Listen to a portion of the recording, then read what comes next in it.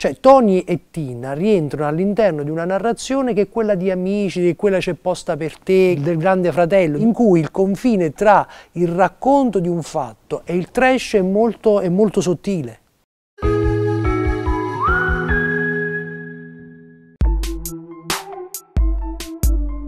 La musica neomelodica può essere tanto un fenomeno, tanto un genere, no? dentro il quale noi troviamo il tema dell'amore, della famiglia. La musica che contraddistingue il genere neomelodico è il pop. Così la forza della melodia è la lingua napoletana. A Napoli il genere neomelodico è mainstream. Tony Colombo è venuto a Napoli per diventare un grande e famoso cantante neomelodico.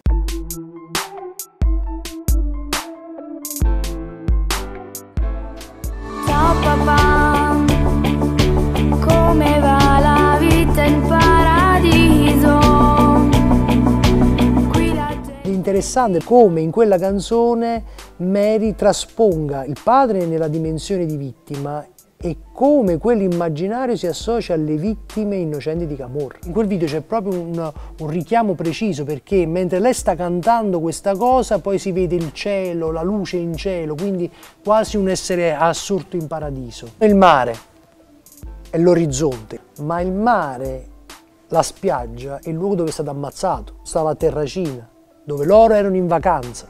Questa dimensione della memoria, della testimonianza della figlia, della memoria del padre è una cosa, è la retorica tipica del ricordo delle vittime innocenti. Per colmare un'assenza del padre c'è bisogno di tantissime figure ed è interessante vedere come il sostegno parte dalla, da un mondo come la pizzeria poi a tutte le persone che, stanno, che lengono per strada e quindi è proprio la città che la sostiene. Si reclama una purezza, e che questa purezza passa anche attraverso il simbolismo religioso, simbolismo religioso che viene ripetuto, le persone che la incontrano hanno tutte la medaglietta della Madonna e, del, e il, il crocefisso e alla fine si capisce perché, perché evidentemente Gaetano Marino è asceso in paradiso. Da lì, da dove è stato ammazzato, cioè dalla spiaggia.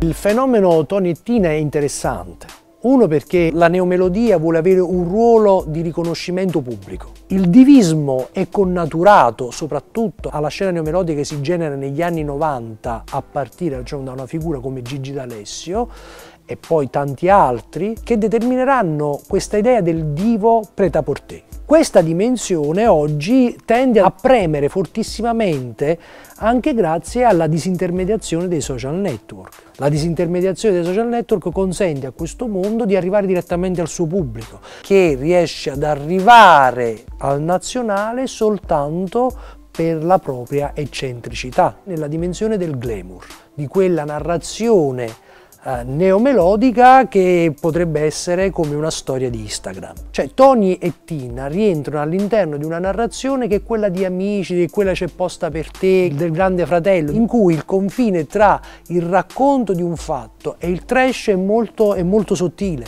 Quindi pu un pubblico come quello di Barbara D'Urso è interessato a conoscere. Tony Colombo quasi immediatamente rende pubblico il suo amore per, per Tina. Se noi andiamo a ripercorrere la storia di Tony e Tina, eh, nelle cronache precedenti al matrimonio, anche per esempio a quel famoso attentato alla casa di produzione di Tony Colombo, lì già si era costruita un'attenzione, no?